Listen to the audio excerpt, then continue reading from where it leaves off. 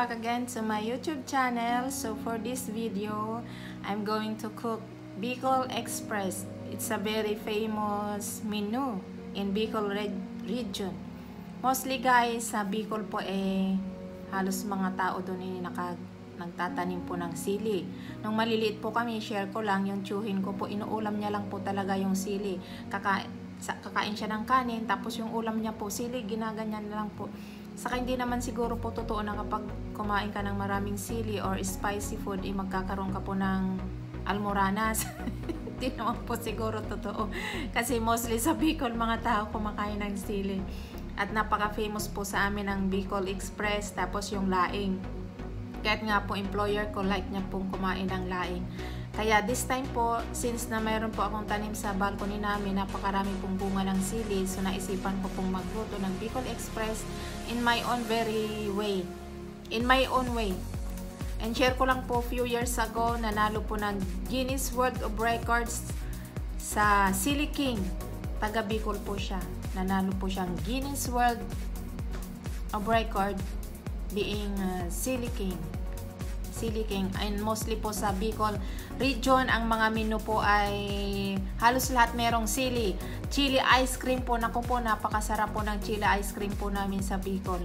Uh, minsan kapag may time ako, gagawa ako. Try ko pong gumawa ng chili ice cream. Naku guys, ang sarap po. And mostly po sa Bicol ay eh, kapag mayroon pong typhoon, ito po yung nakakatawa pero po ito totoo ang una pong lalagay ng tukod or tatalian yung puno ng sili. Kasi po pag nasira po wala na po silang sili. At kung masira man po ito ng bagyo, ang una pong aayusin ay yung puno ng sili. Hindi po yung bahay kundi ang puno po ng sili ang unang ayusin. At meron po sa Bicol region ang pangalan niya po ay, ito po ay bad words, pero ito po ang tawag po nila. Napakaanghang po niya kasi kapag kinain mo talaga pong mapapamura ka. pero talaga pong napakalit niya pong sili. Pero nako, napakatindi po ng anghang niya po. Ang tawag po niya, bad words po ang tawag po doon. Kasi napakalit niyang sili pero napakatindi po ng anghang. Nako, 10 times po sa labuyo ang anghang. So guys, uh, I will show you later in my own very way of cooking my Bicol Express.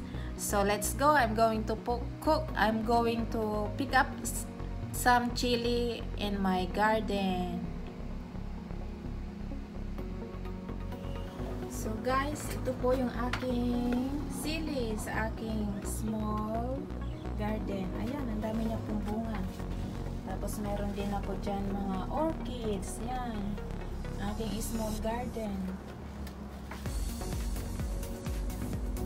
Ayan po guys yung ocean park ko. ocean. Nakasama na sa menu yung background. Yan, dami yung tanim na sili. Ginger, lemongrass, lemongrass, ginger, yung tomato, no dry yung dahon. Yan guys, ang daming bunga. Oh. Oh, kaisa naman po masayang. I will cook them. I will cook them to my People Express. Yan, dami. Fresh from my garden. Oops. Hindi ko na siya bupitin. Daming bunga guys. Yan, daming bunga. Piliin ko na lang yung red red.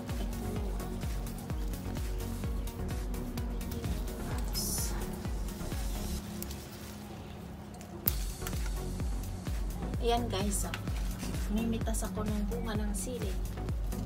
Daming sili.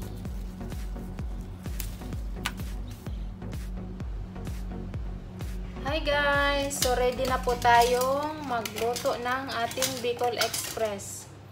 Ito po yung na pitas kong chili from my garden. Ito po siya. So we are going to cook now my Bicol Express. My pork curry express. Chili pork curry. So yun, since yung pork meron siyang taba, ito na lang po yung ito-fry.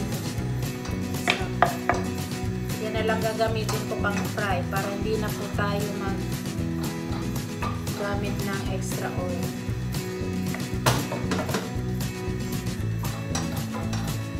Just fry the fat to make the oil come up.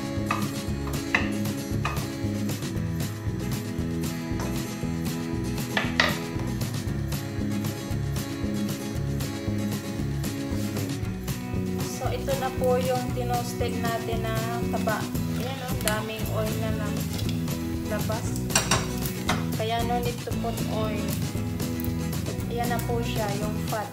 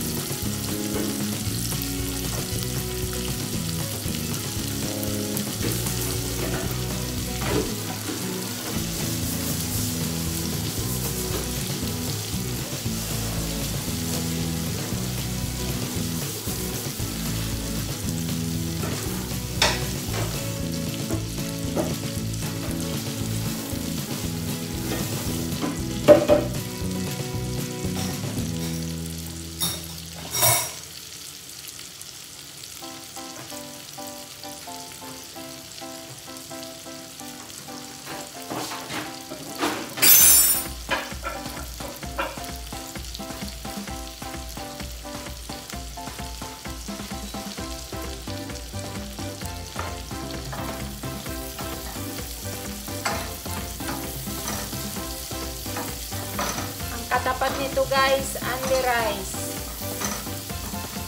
Bicol Express.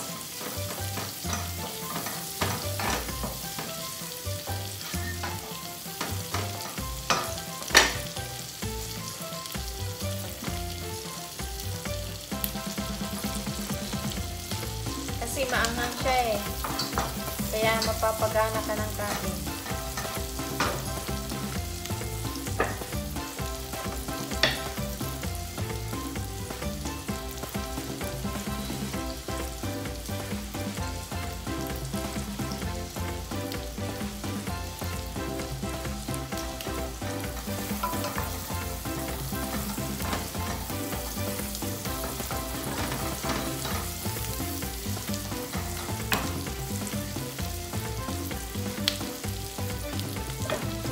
I will add now the meat.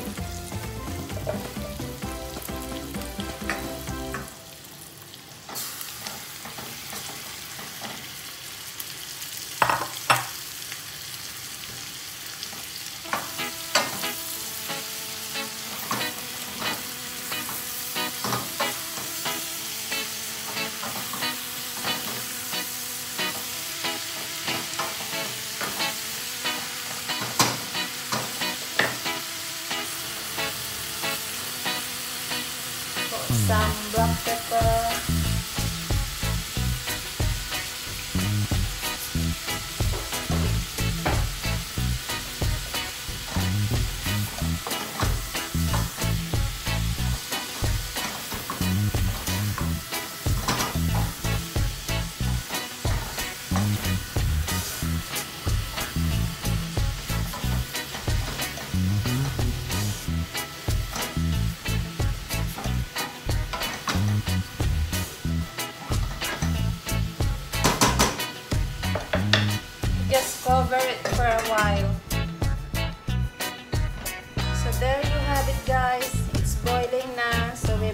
The chili.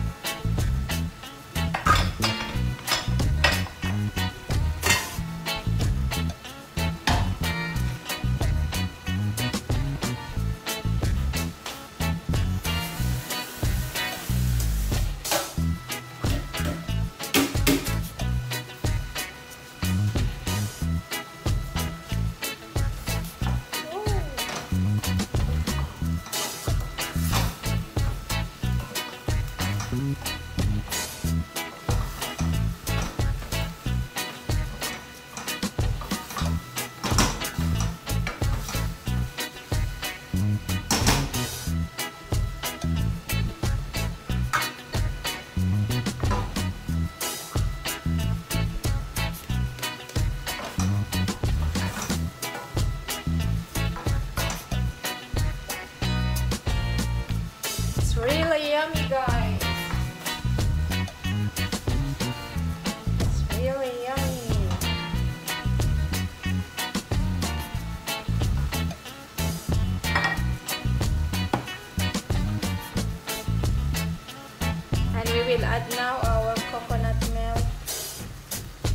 And let it simmer until the pork becomes soft.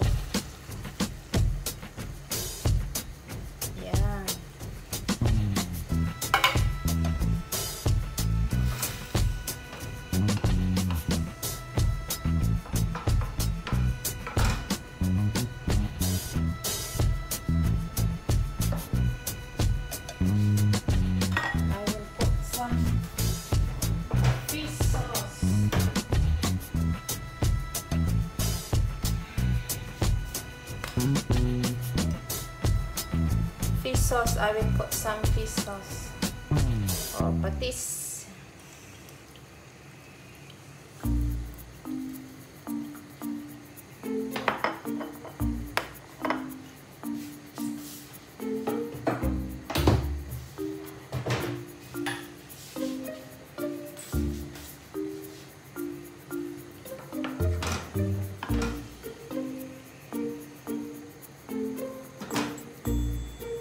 So we just leave it guys for around 30 minutes or depends on the pork if it's already soft and the coconut milk is already quite thick.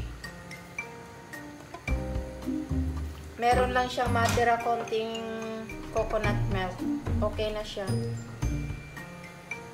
Yung tama lang na sabaw. So, yan na siya guys. Later, I will show you when it's already done. So, we just cover it and simmer. So, there you have it guys. It's nearly done. Ooh.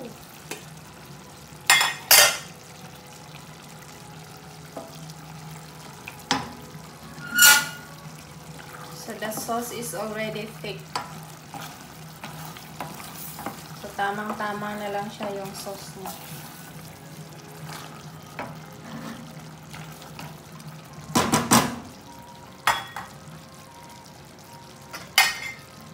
Let's try it.